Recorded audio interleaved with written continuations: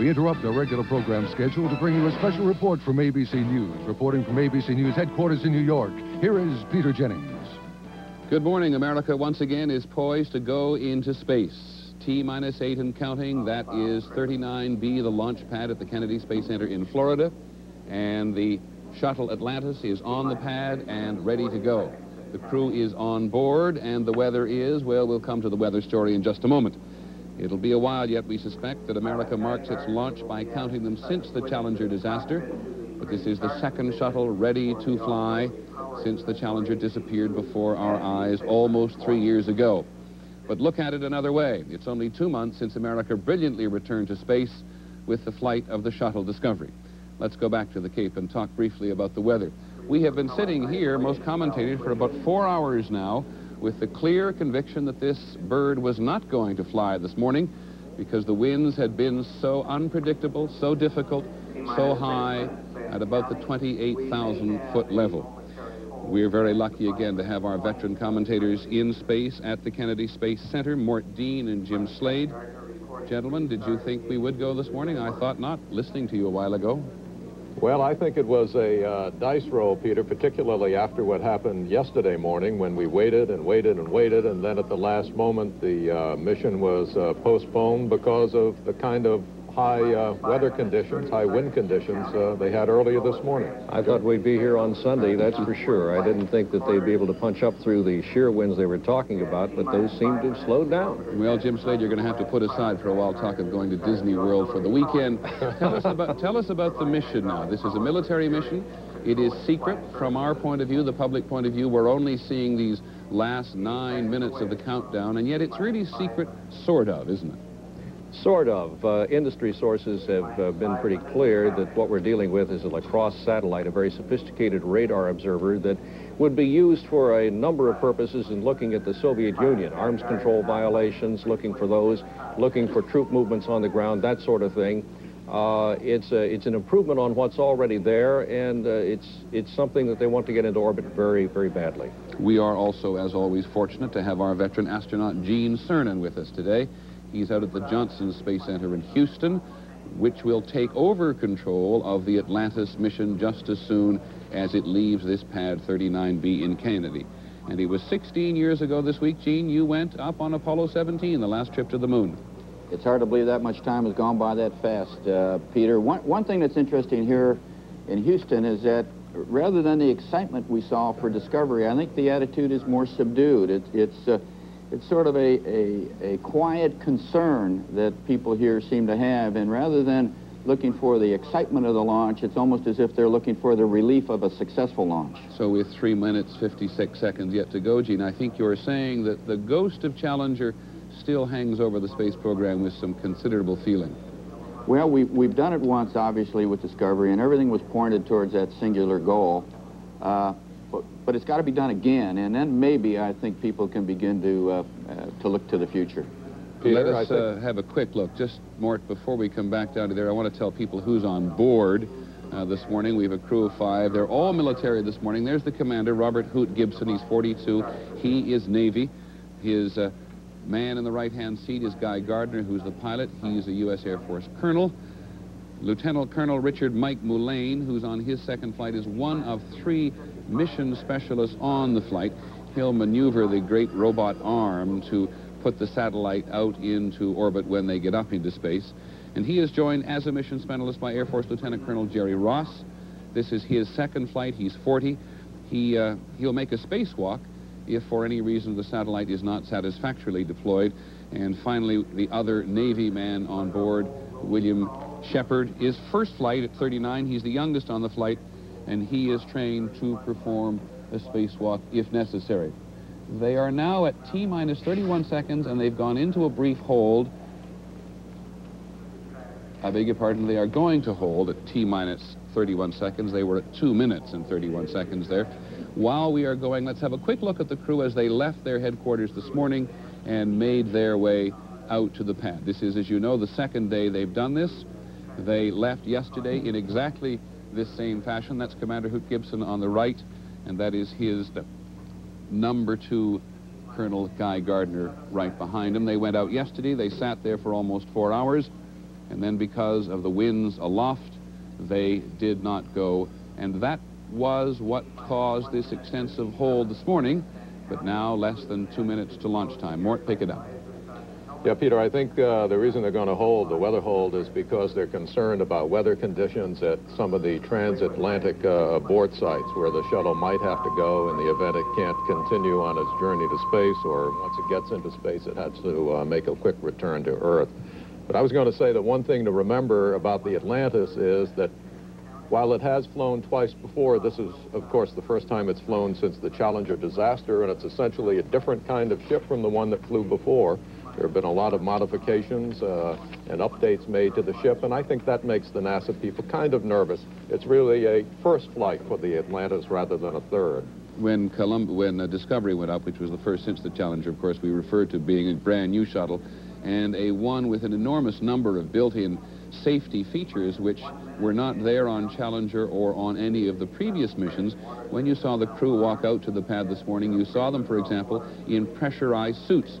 That is new in the wake of the Challenger disaster. That means that men and women in the future on board will have an opportunity to get out of the space shuttle at altitude and return to Earth, an opportunity, of course, the members of the Challenger never had. Jim Slade, I want to come back to the mission for just a second so that people understand the secret nature of this. Who are we trying to fool by not telling anybody exactly when they were going to launch? Well, frankly, I don't know who you try to fool because you have a 200-foot uh, pile of machinery on a 700-foot tongue of flame lifting away from here, and any two-bit radar sitting in a boat offshore can tell you which direction it's going to go. So you're not fooling anyone. What they're really doing is setting precedent for missions they may want to do in the future, setting down ground rules, and seeing how they can do it in, in getting this thing off in, in uh, without commenting about it. So for the Air Force has not done that. So, for example, we do not know how long the mission will last. That's true. And we, uh, not, we will not see them in space, right? That's right. And, Peter, an indicator of where it's going will be very evident. They're holding now at T-minus uh, 31 seconds. Uh, an indicator will be uh, when it lifts off the roll program as the uh, shuttle rolls around its axis. If it does a very minor roll, it's going to the equator. If it does a about 102 degree, which is a very, very big roll, it's going right up the east coast and toward the Soviet Union. That hold at T-minus 31 seconds was, in fact, a hold for downrange weather, but they now have a go for launch.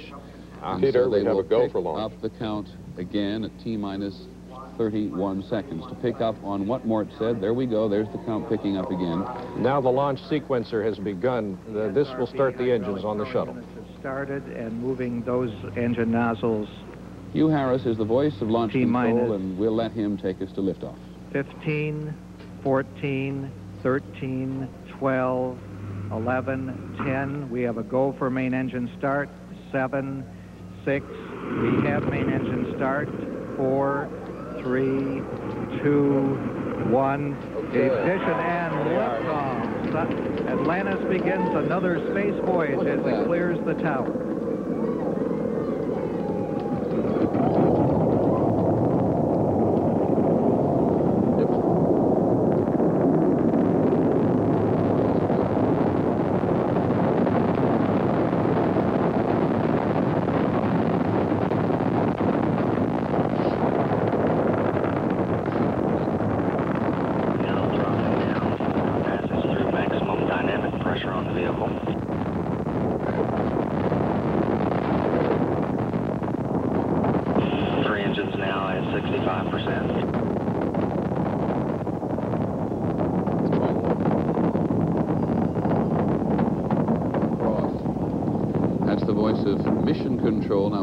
Houston, Texas, Brian Welch.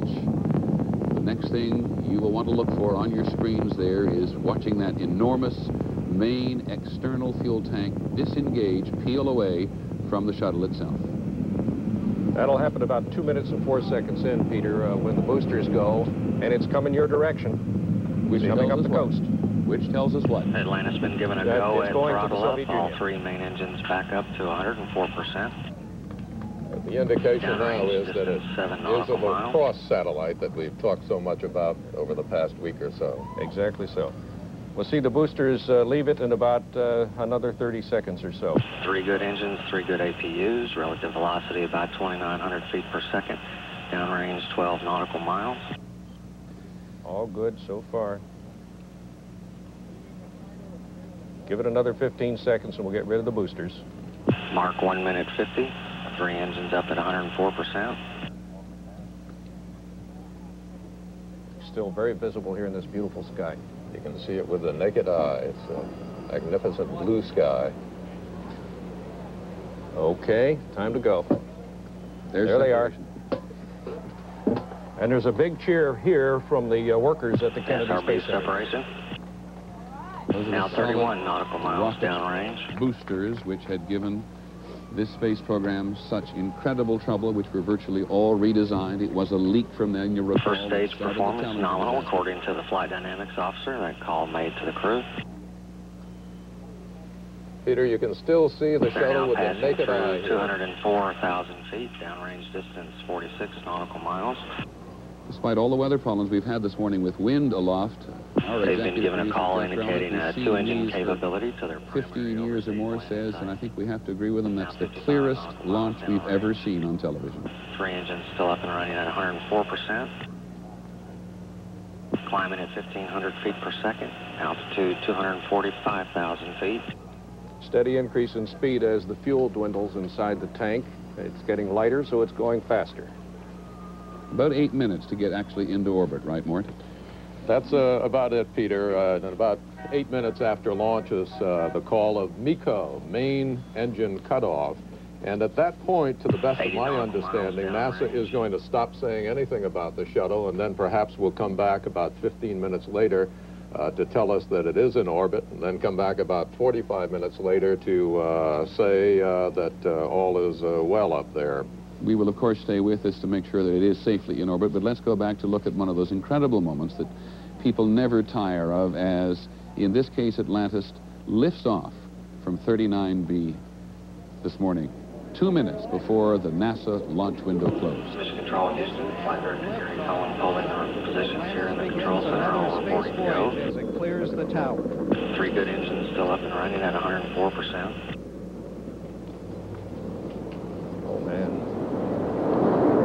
Return call just went up to the crew. That indicates uh, they no longer have the capability to do a return to launch site abort.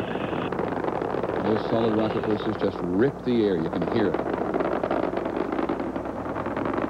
Now throttling down for passage through maximum dynamic pressure on the vehicle. And one more look we can have of the launch Three itself on this, only the third secret military mission in the last 27 missions.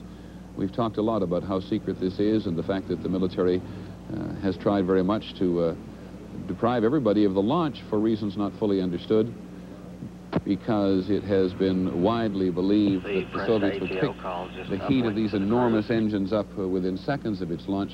But as Jim Slade said a little earlier, it is to establish some kind of precedent uh, down the line. press toward, uh, an Gene Cernan out there in. Houston, Texas. You've seen it so many times, uh, uh, and we always ask you for your impression. I wonder if it's any different this morning. It's always different, uh, uh, Peter. I think each launch is, is always going to be uh, be something special. Uh, I got to believe the crew was a little surprised, though. I think we were all conditioned to the fact that we were going to delay for a couple days, and suddenly uh, the clock starts running, and the crew's within nine minutes of of, uh, of, of launching, and uh, I'm, I'm sure they were ready. And that's the key. That's us in Apollo 17. We waited there three hours. We're absolutely sure we were not going to go, and all of a sudden they said we're going to pick up the count. And it sure gets the adrenaline going at that point in time. Okay, Mort Dean down there. Give us a little bit on what's going to happen over the next few minutes and hours, because they're going to spend most of this first day, we know, at least checking that satellite out, right?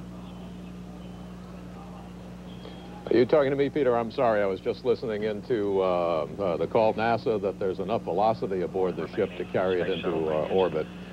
Uh, one of the things that the astronauts will be doing shortly after they get into orbit is opening up the cargo bays. Um, the main reason is to dissipate some of the heat on board the shuttle and also uh, quite likely to take a look through the back window to see how the uh, payload, that secret payload, is doing. It's an enormous satellite, isn't it? When they put it out, I gather it's got a wingspan of energy uh, panels which are about 150 feet across. And that's my understanding, and uh, everybody says it's going to be very easy uh, for the Soviets to spot with their cameras here on Earth. As uh, one of the scientists said, earlier this week, uh, Mr. Gorbachev will have a picture of our satellite on his desk before the shuttle returns to uh, Earth in a two or three or four days. Now, sitting there beside you was Jim Slade. Jim, I was trying to get sort of some kind of sequence as to what the crew will do in the next 24 hours, even though it's a secret mission. They'll be looking at that uh, satellite, then deploying, and then sticking with it, right? That's exactly right. Uh, there's a test period where the satellite will be deployed on the end of the arm. It'll be held out as a group of test engineers on the ground uh, look it over and, uh, and check it, and then it will be released, and the shuttle will continue to fly formation with it for quite a long time to see how it operates. There's a possibility that if it doesn't function properly, there'd need to be an EVA, that is a spacewalk, to bring it back aboard. Let's go back quickly, Jim, while you're still talking, and look at this booster separation again. This, as we said, is probably the best view we've ever seen of the separation of those solid rocket boosters from the shuttle itself since I think we've ever watched this on television. This is just spectacular. Uh, Peter, uh, while we're watching the word from the space shuttle and from mission control in Houston is that uh, everything looks good. Separation. Peter, one of the reasons those boosters are so visible, obviously the the uh, clear air, but also the uh, the spacecraft is headed northeast, as uh, as Morton said, up the coast, uh, east coast, parallel to the east coast, and we're getting a different view of it. Yes, we did. And of course, the solid rocket boosters are recoverable. They'll drop down into the Atlantic Ocean. They'll be picked up by NASA. And this enormously complicated new bureaucracy that NASA has reinforced in the wake of Challenger We'll take a look at every square inch and centimeter of it to see whether or not the solid rocket boosters have performed as they've wanted. We were listening, Jim, to NASA this morning talk about the 100,000 people in the apparatus that put this shuttle together. And I wonder, has that increased the number of people, or have they cut seriously back on the shuttle program? They've uh, decreased in, right here at the Kennedy Space Center and in some other plants around the country during the period of uh, downtime after Challenger. However, when you count all the people it took to put this program together, and that's what NASA does, you're talking about hundreds of thousands of people. And Peter, if I could interrupt for a moment, uh, MECO, main engine cutoff confirmed, a major uh, step. ET separation, good main engine cut off. There goes the tank. The tank is going off now, so the last encumbrance is away and the spacecraft is ready to Flight uh, Director Jerry adopt Coen its now own orbit. polling the room to uh, in space. ascertain whether we want to shut the APUs down on time, the auxiliary power units. And they will go shortly to silence now, but they have had uh, an enormously successful launch. There's what it looks like now. There was no need to return to the landing site uh, because of local weather. There was no need to uh, abort anywhere else, either on this side of the world or on the other. And so this second mission since uh, Challenger has been, if you had to make a guess, just even smoother uh, than when Discovery went off the last time. A quick final word from Eugene Cernan. Peter, it's just good to see us get back in gear and on the road. I think this is another indication of uh, the results of the efforts that have gone on for the last couple of years. Jim Slade. I, uh, uh, I would like to see two or three or four more of these before I make a final uh, judgment on how the shuttles have been improved, but I think this is a pretty good indicator of where they're going. It's, it's looking just great. Mort Dean. And no doubt an important step, Peter, but always the cautionary note that even when it looks good upon launch and looks good as it enters uh, into space and enters into orbit, that we really don't know uh, how the launch proceeded. And we'll wait to hear later today and perhaps tomorrow whether indeed it was a perfect launch. Okay, thanks very much to all of you this morning. We will not uh, have a full appreciation of how the military is feeling in the next couple of days, but that satellite up there is worth half a billion dollars, we are told, $500 million. And as Jim Slade said, they'll hang it out on the end of the Great Canadarm and orbit around the Earth a few times to make sure that everything is working. They may have to bring it back to Earth. We've lost satellites before. We have brought satellites back to Earth before, and we've seen them worked on in space before. That is one thing we will not see in this mission, men working in space, because this remains, as of now, a secret military mission. We'll keep you up to date on the safety of the astronauts themselves as we take one last look at the launch this morning, two minutes before the window closed from pad 39B at the Kennedy Space Center in Florida. One, ignition and liftoff. Atlantis begins another space voyage as it clears the tower.